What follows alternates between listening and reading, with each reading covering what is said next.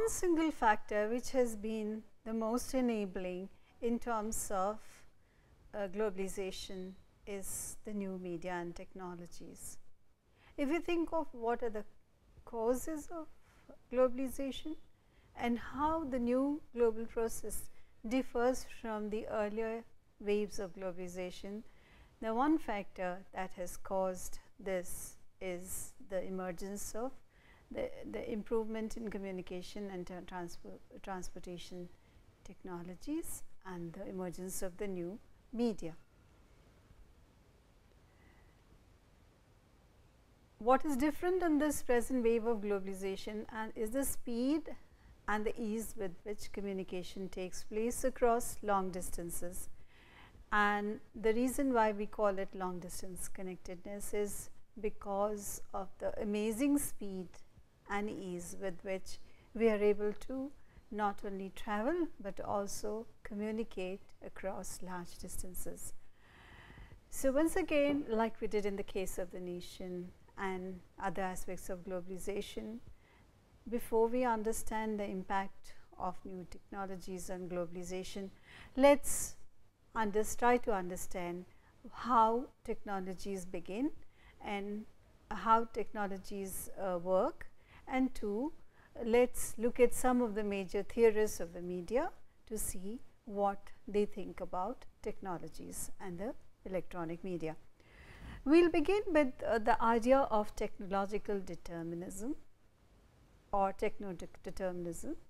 which is a contested idea. Some people, uh, some theorists do not quite agree of the mechanical theory of techno determinism which they think is very artificial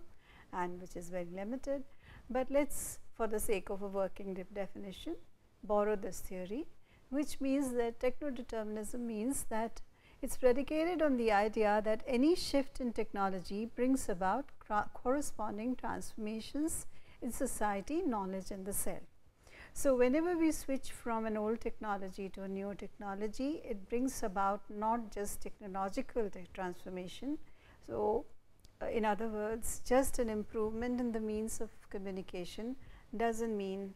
uh, uh, does not mean that we will be able to communicate with greater speed and efficiency, but it also means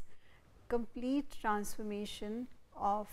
the self of the community and also the way we constitute knowledge. So, uh, be, this begins with the idea of writing itself as a technology. The first phase shift we see in the uh, movement of technologies is the shift from speaking to writing, uh, the invention of script and the shift from speaking to writing which was considered a very major phase shift in the history of the world in the to the extent that it completely transformed the consciousness of the world. Uh, it not only transformed the consciousness of human beings uh, to the extent that the idea of individuality or the rational subject of the autonomous rational subject of rationality is believed to have emerged with the invention of writing, uh, which is very different from the psychodynamics of orality. So, what happened uh, when we moved over from speech to writing? What happened was uh, a complete transformation not only in the idea of the self, but also in the idea of society and also the way we constitute knowledge. There is a myth about uh, about a god, about uh, about a mythical king who when he came to know about the invention of writing, about the introduction of writing, expressed his misgivings by saying that writing would he banned writing from his kingdom because he felt that writing would take away the real power of people's memory and they would have only false memory. Uh, Plato um, mentions this uh, story to express uh, his own fears of writing and the changes that would be brought about by writing, uh, by the introduction of writing. A similar fear of writing exists in uh, oral cultures which which uh, which have not which have not switched over to writing in certain spheres of life, life because speaking is supposed to possess certain special powers which are destroyed by the invention of writing. And the most uh, um, the best known work on the shift from write speech to writing is that of the priest of Walter J. Ong. His book Orality and Literacy Technologizing of the Word is a seminal study that drew heavily on the work of Eric A. Havelock to throw light on the extent to which technologies determine human existence. Now, uh, Ong says, Ong sees a phase shift from orality to literacy and he says that it completely transforms society, culture and human consciousness. Primary, primary oral culture uh, he defines as those which were characterized by literacy on the basis of their dominant mode of communication. Arguing that sight isolates, sound incorporates, he viewed writing as a technology that transforms consciousness through increasing interiority and individuation. Ong makes made a distinction between primary and secondary orality because his book stops with writing and he does not take into account electronic technologies, but he does gesture to it, allude to it briefly by making a distinction between primary and secondary or orality. Uh, secondary orality is the orality which is produced by the electronic media and which he thinks is quite different from primary orality which is the orality of people who are not literate, whereas sec secondary orality is already contaminated by literacy.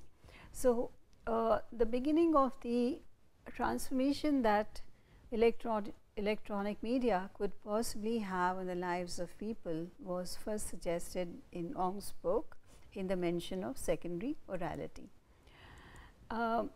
when uh, and then we move on to uh, Anderson's idea of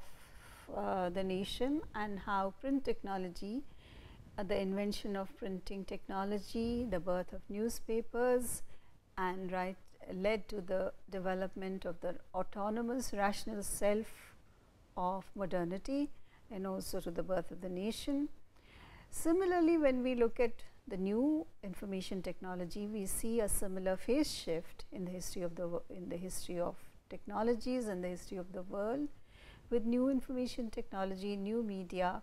the idea of the subject as non-unitary, the idea of the community, the imagining of the community as different from the earlier communities, that is already being debated over the last three or four decades. The this, these technologies have led to deterritorialization and they have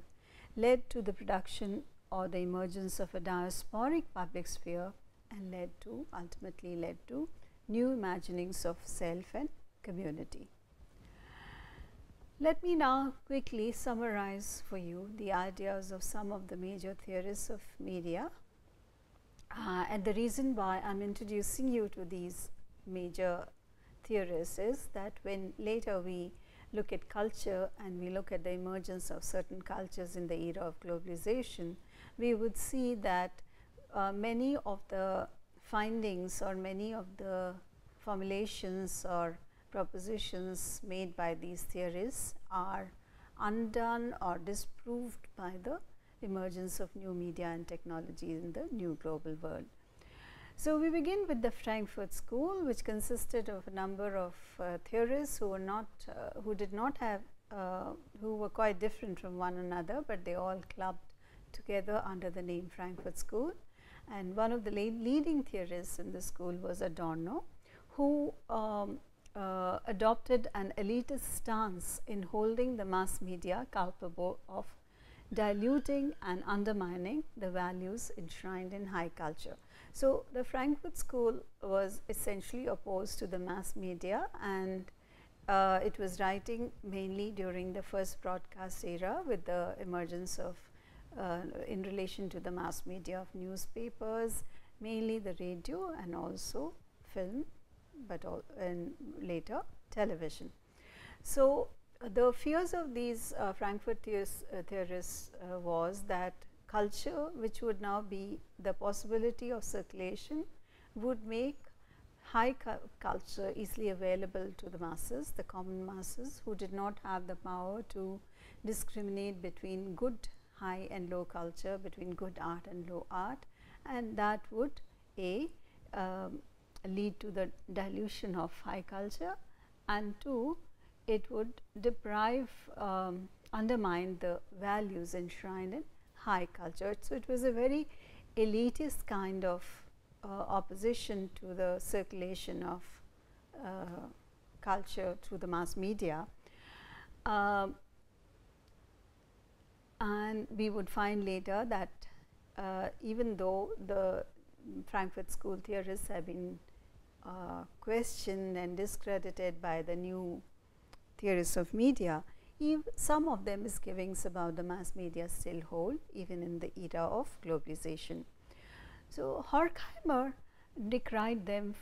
the, that is the mass media for depriving individuals of autonomous action and for spreading and legitimating dominant ideology. This is uh, this is an aspect of uh, mass mass media or of the media which is very very pertinent even at this state because media uh, which was the fear of the Frankfurt School theorists was feared to propagate was uh, feared to be to become an instrument in the in the hands of dominant groups and become an instrument in the propagation of dominant ideologies. Lazar Feld, Lazarsfeld, who talked about the narcotizing dysfunction of the mass media such as film, the soap opera and the variety show um, is uh, is uh, is echoed in in commonplace statements about the media particularly television reducing human beings to passive consumers to couch potatoes and, uh, and losing their ability to think clearly losing their ability to discriminate between the good and the bad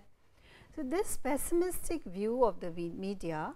as a threat to the democratic process and elite cultural institutions still continue to govern objections to the mass media. And this view has dominated modernistic understandings of the mass media. The critique of the effects of mass media is derived from the Frankfurt School theorists. Now, let us quickly name these high priests of culture, the theorists of the Frankfurt School, Duhamel and film, Adorno, who theorized mainly in relation to radio and tele television, Althusser and mass media, Habermas and his idea of the public sphere, Walter Benjamin and film, and Baudrillard's idea of the simulacra. The what were the, uh, the theory of the effects of media uh, is dominated by the views of the Frankfurt School, uh, the Frankfurt School's view of the mass media gives them and the culture industry a role of ideological dominance which destroys both bourgeois individualism and the revolutionary potential of the working classes. According to them, the mass media leads to the manipulation of the consciousness of the masses and silence resistance to the dominant capitalist class. It also leads to the standardization of cultural production and its domination by the profit motive. And it, it's assumed that the top to down flow of culture from the elite to the masses due to concentration of ownership and control of the media and the formation of the media elite indulging in forms of cultural dictatorship. This view of the effects of media has been critiqued in the recent times uh, by a number of theorists of media. So, this idea of mass media as instruments of control. According to new media theorists, it is based on the broadcast model of the first media age of few producers and many consumers. And this idea is based on the binary of the autonomous heteronomous subject of modernity and it seems to reek of technological determinism. One of the uh, modern theorists of media who was uh, very positive rather than pessimistic about the possibilities of new media other than Walter Benjamin who is classified among the Frankfurt School theorists, but was less critical and more optimistic of the media is Marshall McLuhan, who uh, had a very positive image of uh, with, with whom a positive image of the electronic media began to emerge in the West. McLuhan had a faith in the positive effects of the electronic media uh, and this seems to have been corroborated by new media theorists in the digital era. McLuhan's theories form a comforting counterpoint to pessimistic denunciations of the mass media by Frankfurt School theorists. It's also led uh, the revival of the debate on media effects that began in the 30s and 40s with the arrival of satellite technologies that appear to have ushered in a phase shift similar to that from orality to literacy and from writing to print. So, there seems to be a revival of this debate on media effects particularly with the onset of globalization. Uh, the second media age, a book by Mark Poster, uh, in, uh, talks about intersection of globalization and media with new telecommunication technologies. Poster holds that one can see new ways of production of locality in the new in the global era. It is also marked by new relations of production, transmission and reception. He places an emphasis on the role of communication technologies and he feels that the linguistic turn is emancipatory for subject construction. Marx, Mark Poster in his book, in his essay, What's the Matter with the Internet, talks about cyber, uses the term cyber democracy and he feels that uh, the new media, the new electronic media, instead of uh, holding, uh, instead of uh, instead of uh, reducing uh, the, the, the, consumers to passive consumers and instead of enslaving them to the pleasures of entertainment have particularly the internet have led to what he calls cyber democracy. And they have been liberatory, they have been very emancipatory because the technologies uh, in the present world which are interactive uh, enable anyone in the world to transmit their information or ideas across the world without mediation by uh, without med mediation by any other any other powerful group. So, technologically at least it is possible for anyone to circulate their ideas particularly through the medium of internet if not through television and radio with the new improved technologies. So, we are talking about global citizens, we are talking about netizens, citizens and subjects and Arjun Appadurai who I have already spoken about, he emphasizes on the cultural aspect of globalization. He speaks about the mass circulation of people and images and he lays an importance on the primacy of the image. Appadurai talks about globalization uh, I've uh, and I've already introduced you to the idea of scapes. Uh, uh what I would like to uh, say in relation to the new theories of media is that the old critique of media, if and the old theory of the media effects was based according to Mark Poster on the idea of a single consumer and multiple uh, of a single producer and multiple consumers. And this single producer uh, uh, which was often the state would have the power to dominate the minds of millions of consumers through the possibilities of circulation of their ideas. And media has always has uh, traditionally played this important role as serving the instrument of dominant groups within any uh, within any nation. But uh, uh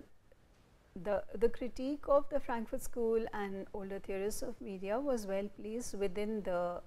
within the uh, uh, contingencies of the earlier broadcast model where this was a reality, but today the mediatized world is very different from the older media world, the older media scape and the second broadcast age as Poster calls it is is substantively different in the in not only in in the change in the nature of ownership because media ownership is comparatively if not fully more distributed in uh, so that the model of a single producer and multiple consumers uh, seems to have been demystified, uh, disrupted by the emergence of multiple producers, maybe some dominant producers and some non-dominant producers and similarly multiple consumers. So, in the present media scape, it is possible for uh, for consumers to be more selective, to choose uh, uh, to choose the greater choice of media that they have today with the multiplicity of ownership allows them to compare one uh, ideological uh, view against the other and not not take media at their face value as they tended to do in the past. Secondly, uh, the, the media themselves as Poster puts it have become more interactive because uh, they are no longer one way channels as they were in the uh, first broadcast era. Because today even in the traditional media like um, radio and television the possibilities for interactivity are infinite infinite in terms of uh,